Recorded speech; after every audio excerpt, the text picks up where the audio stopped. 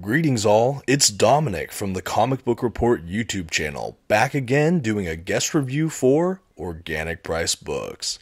And today we're going to be doing an overview for The Batman by Jeph Loeb and Tim Sale Omnibus, brought to us by DC Comics. This massive, oversized hardcover comes in at 1,176 pages. This omnibus collects Batman Legends of the Dark Knight Halloween Special, Batman Madness, a Legends of the Dark Knight Halloween special. Batman Ghosts, a Legend of the Dark Knight Halloween special. Batman The Long Halloween, issues 1 through 13. Batman Dark Victory, issues 0 through 13. Catwoman When in Rome, issues 1 through 6. And a short story from Superman Batman Secret Files and Origins 2003. As the title of the omnibus suggests, all the issues in this collection were written by Jeph Loeb and illustrated by the great Tim Sale. And there's our first look at the spine for this collection. Overall, I really love the dust jacket design for this omnibus. It's very colorful and fun and gives you a bit of a taste for what we can expect on the interior work. This really is an outstanding omnibus volume and one I've hoped to have in my personal collection for some time. To me, this includes some of my all time favorite Batman stories of all time, that being, of course, Batman The Long Halloween and its direct sequel, Batman Dark Victory. The other stories are truly fantastic with the Halloween specials and the Catwoman series, but for me, the heavy hitters are always going to be The Long Halloween and Dark Victory. Now I'm going to go ahead and remove the dust jacket so we can take one more look at the print on that dust jacket as well as the interior flaps and then we'll take a look at the under the dust jacket actual hardback itself. You guys probably already got a glimpse of it. It is one of the older style just black kind of embedded print uh, just hardback books that DC Comics used to pump out. To me, it's kind of reminiscent of what I would see for those new 52 hardcover collections that came out like maybe a decade or so ago. Uh, nothing too flashy. This is before they really did a lot of the under the dust jacket hardcover artwork, uh, which is a bit of a shame. I really feel like with the Tim Sale art, that is something that could definitely be improved should they decide to do future editions or prints of this omnibus. But at the end of the day, it's what's on the inside that counts, and that is certainly true in this collection here.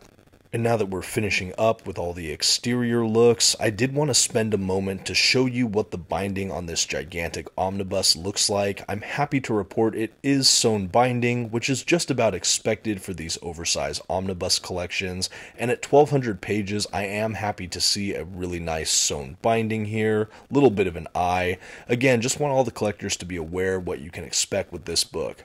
And with that out of the way, we can go ahead and jump into the collection proper. The front matter is all really nice. There's a bit of a table of contents. I really like the layout. There's a bit of an introduction or forward to the collection. And then we jump right into that trio of Halloween Batman specials.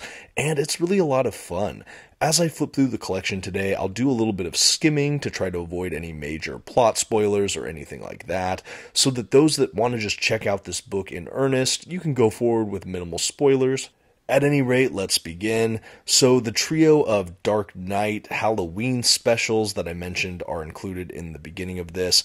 They're really fun. They're kind of interconnected, but each little issue can be read on its own. But the trio make this Halloween set. They also print those three Halloween specials in a separate collection sometimes called Batman Haunted Knight. So if you've seen that collection floating around, that is what these Halloween specials are. So you can save yourself a double dip if you already have or plan to get this omnibus, but are looking at Haunted Knight as well. I'm happy to see them included in here as they showcase some of the most gripping Jeph Loeb Tim Sale artwork, in my opinion.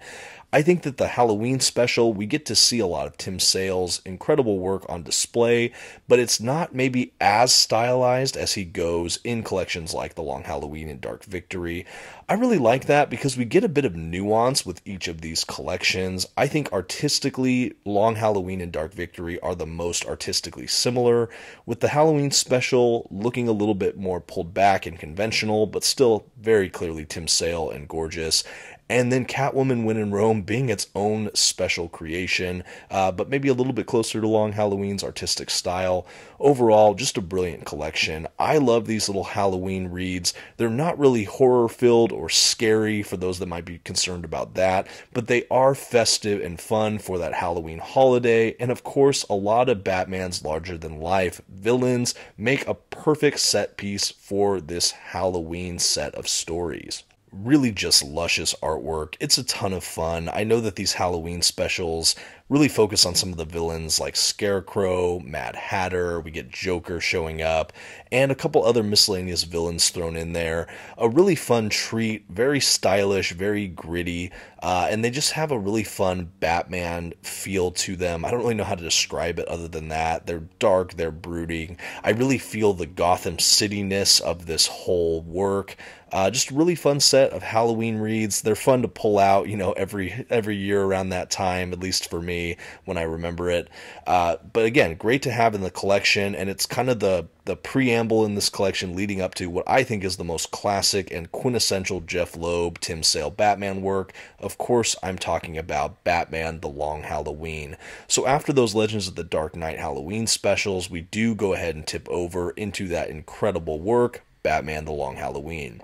For those who may be unaware of what Batman The Long Halloween is all about, it is a Batman detective story set early in the crime fighter's career, thinking year maybe two or three of his whole venture as Batman. So it's early, it's before Robin, it's really when him and Alfred are kind of against the whole criminal element.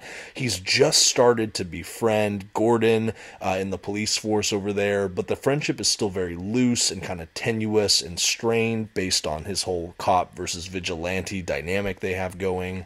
And The Long Halloween basically all centers around this serial killer who the media is calling the holiday killer, who seems to strike on all of the holidays each month throughout the calendar year this whole story has a very cool noir crime drama uh, feel to it. It's one of my favorites that just showcases Batman as the Dark Knight detective. We also have some really grounded character moments here. I love the dynamic that Jeph Loeb and Tim Sale set up between Batman and Selina Kyle, the Catwoman. I love seeing the interplay between Batman, Gordon, and Harvey Dent over in the district attorney's office. The three of them sort of trying to figure out a way to find this serial killer and stop these kind of broad crimes around Gotham City are it's just spectacular and it's definitely a basis for the film The Dark Knight for Christopher Nolan fans out there. So much so that Christopher Nolan actually has a brief blurb and kind of interview piece thing at the end of this collection. Uh, so really just a fun added bonus feature, but you can see a lot of the influences that that filmmaker drew from works like this. The Long Halloween has also been adapted in a two part uh, animated movie series that I thought was quite good, but nothing beats this comic. And to see it in this oversized hardcover, especially with these glossy print pages, it just really showcases Tim Sale's artwork like no other. The Long Halloween is also fantastic at showing off maybe the upper crust best set of Batman's villains. You get to see close to a dozen of them throughout this series, and it is really just spectacular. I never felt like it was rushed. The pacing is perfect, the dialogue, the internal monologuing, everything is just spot on. This is one of the most celebrated Batman works of all time, and it is with very good reason.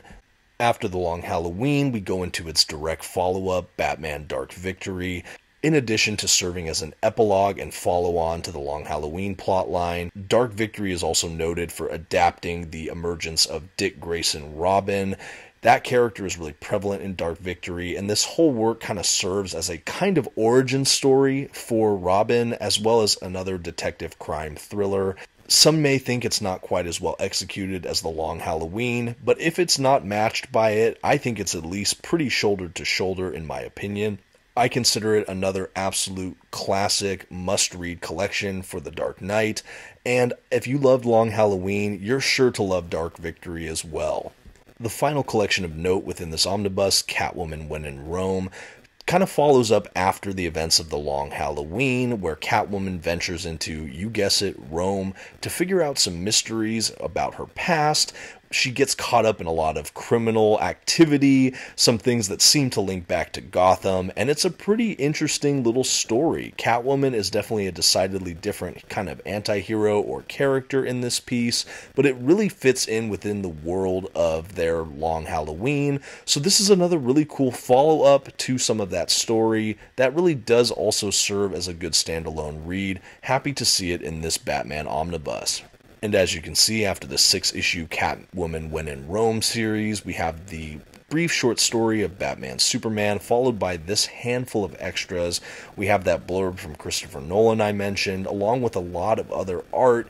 Uh, we have some cover art, we have some other miscellaneous extras. There's even a piece that shows some of the merchandising around Batman the Long Halloween.